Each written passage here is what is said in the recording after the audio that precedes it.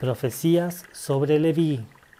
Alrededor de dos mil años hace, Eliú, que dirigía una escuela de profetas en Zoán, Egipto, se refirió a Leví como sigue. Esta edad comprenderá muy poco los trabajos de pureza y amor, pero jamás se pierde ni una sola palabra, porque en el libro de los recuerdos de Dios se registran todo pensamiento, toda palabra o toda acción, cuando el mundo esté listo para recibirlos, he aquí que Dios mandará un mensajero que abrirá el libro, copiará de sus sagradas páginas todos los mensajes de pureza y de amor. Entonces todos los hombres de la tierra leerán las palabras de vida en el lenguaje de su tierra nativa, y los hombres verán la luz y los hombres volverán a ser uno con Dios.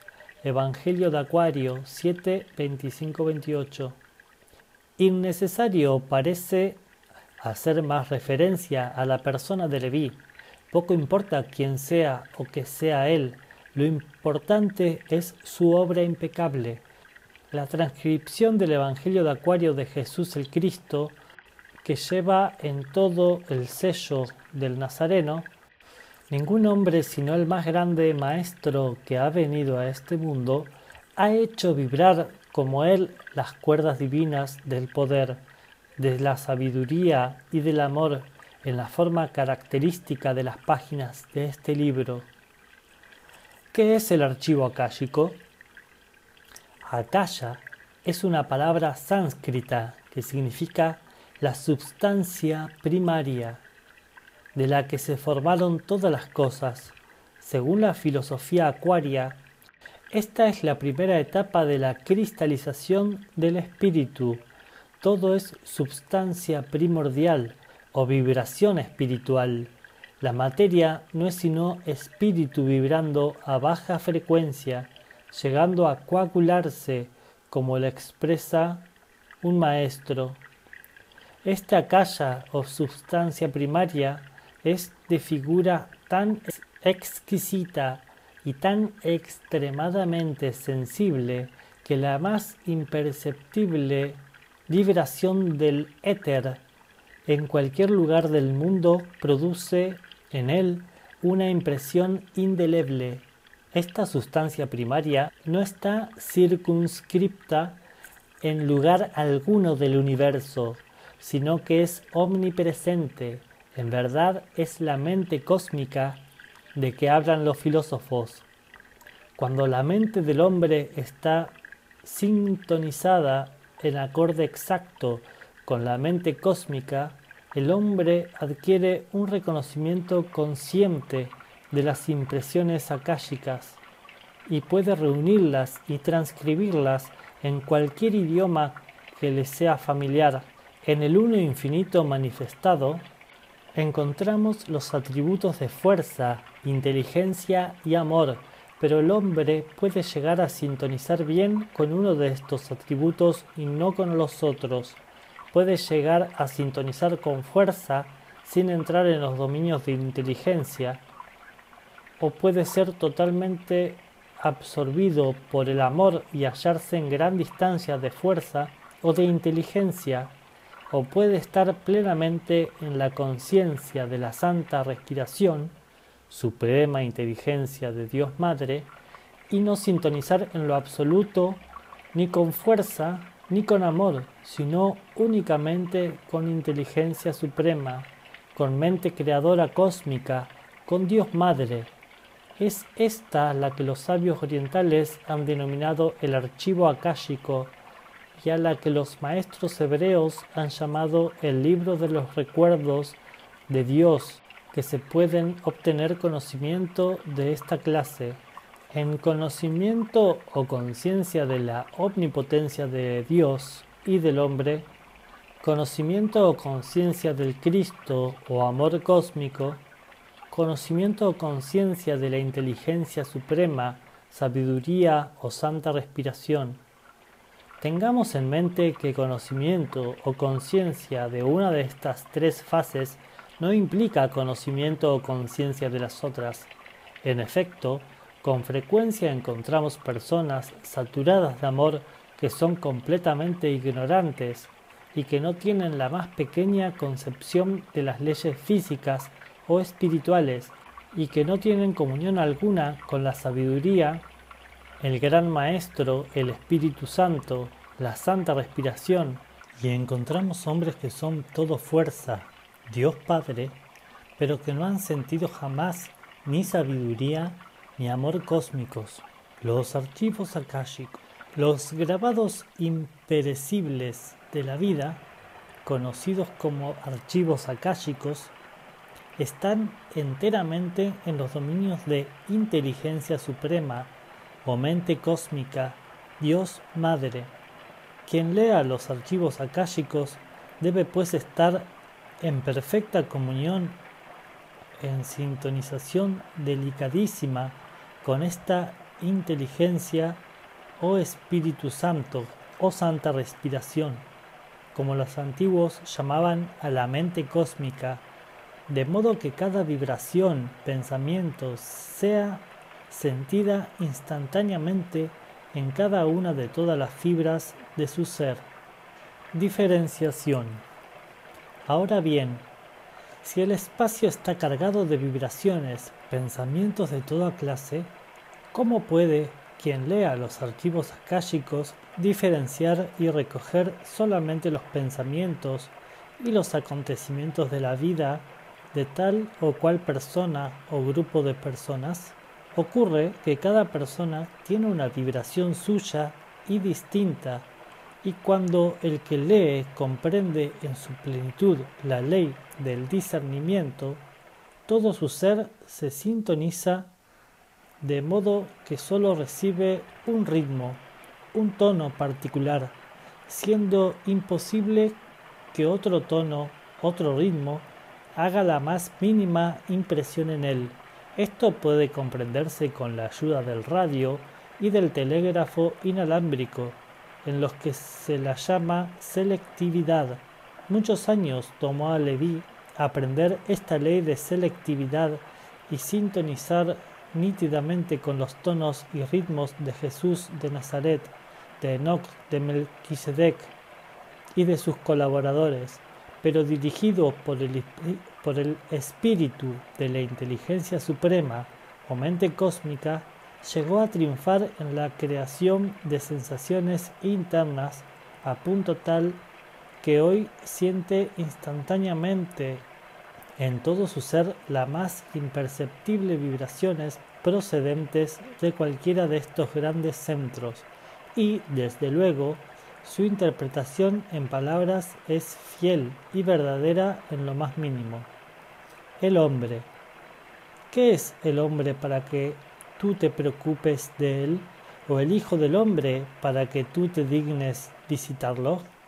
Esta fue la pregunta ansiosa de David, el salmista hebreo, cuyo octavo salmo está dedicado por entero a la contemplación del hombre la producción cumbre de la naturaleza.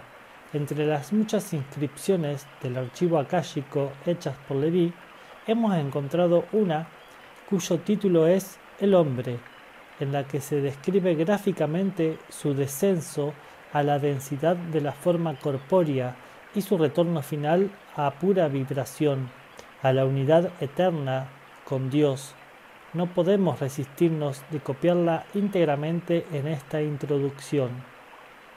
No hubo un tiempo en que el hombre fue. Si la vida del hombre hubiera tenido principio, tendría que tener fin. Los pensamientos de Dios no pueden ser amurallados. Ninguna mente finita o intelectual puede comprender lo infinito.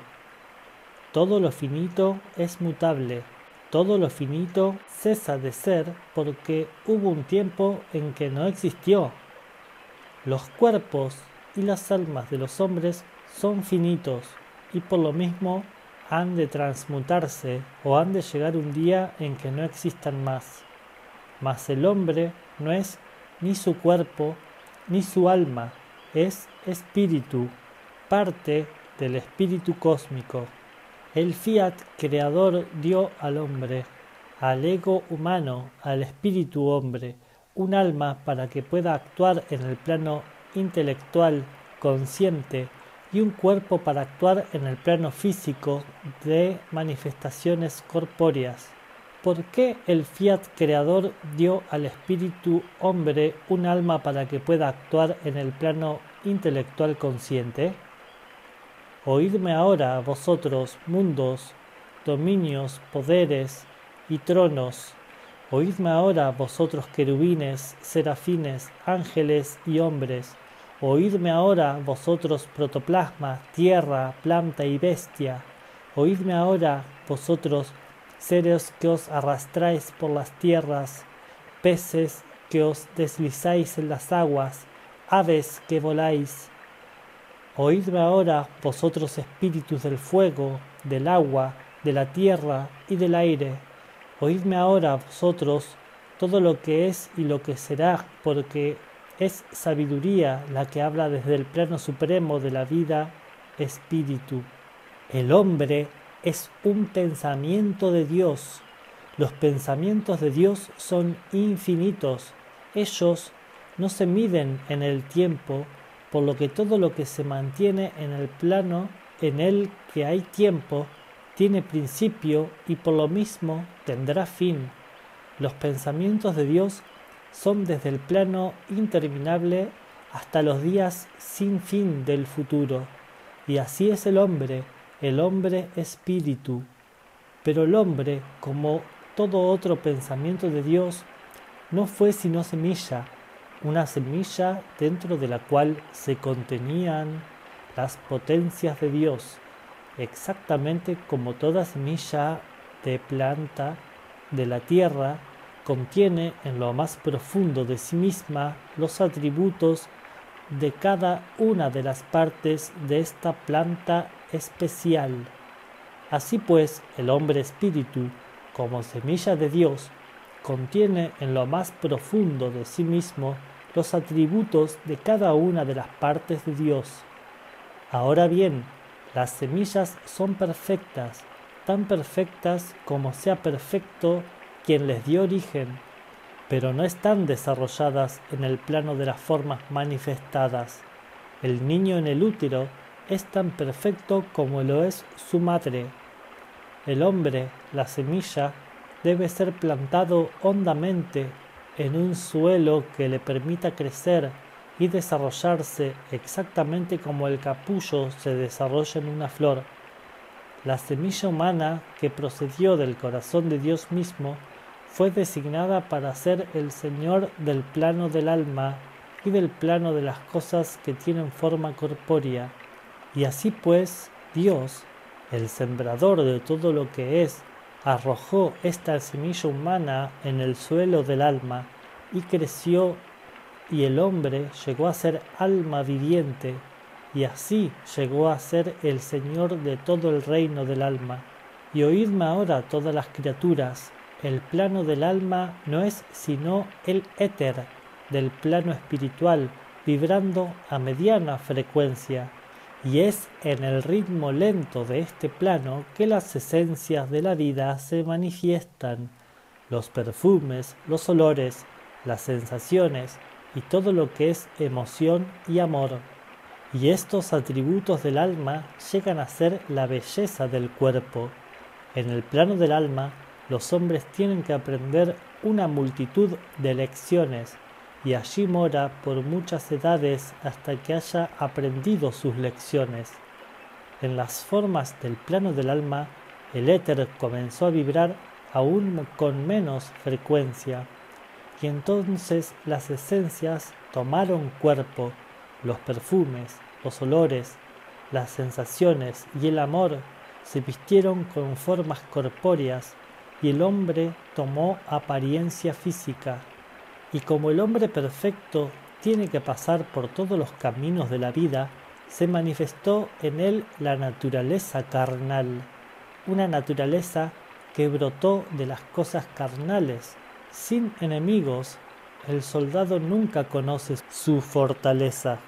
El pensamiento debe desarrollarse por el ejercicio de la fortaleza y así esta naturaleza carnal pronto llegó a ser el enemigo con el que el hombre tuvo que luchar para que llegue a conocer y a hacer la fortaleza de Dios en manifestación, que toda cosa viviente se pare y escuche. El hombre es el Señor de todos los planos de manifestaciones, del protoplasma, del mineral, de la planta, de la bestia, pero él abandonó sus derechos inherentes simplemente para complacer a su ego inferior, su ego carnal. Mas el hombre recobrará su estado perdido, su herencia, si bien el recobro será una lucha que no haya palabras para describir. Sufrirá penas y pruebas múltiples, pero que sepa él que el querubín y el serafín que gobiernan las estaciones del sol y los espíritus del Dios omnipotente que gobiernan los astros solares son sus protectores y sus guías que le conducirán a la victoria. El hombre será plenamente salvado, redimido, perfeccionado por sus sufrimientos en los planos físicos del alma. Cuando el hombre haya conquistado el plano físico, su forma corpórea habrá llegado su misión y desaparecerá y no existirá más. Entonces, sin cadenas, se encontrará innumerables enemigos a los que deberá vencer, vencerlos uno a uno. Así la esperanza será siempre su faro. El alma humana no fracasará porque Dios la guía y así su victoria es segura. El hombre no puede morir el hombre espíritu es uno con Dios. Mientras Dios viva, el hombre no puede morir. Cuando el hombre haya vencido todos los enemigos del alma, la semilla habrá germinado plenamente, se habrá transformado en la santa respiración. Entonces la forma alma habrá llenado su misión y el hombre no la necesitará más. Entonces el hombre habrá alcanzado la bendición de la perfección y habrá llegado a ser uno con Dios. El Evangelio de la edad acuaria de Jesús, el Cristo de la edad Pisea.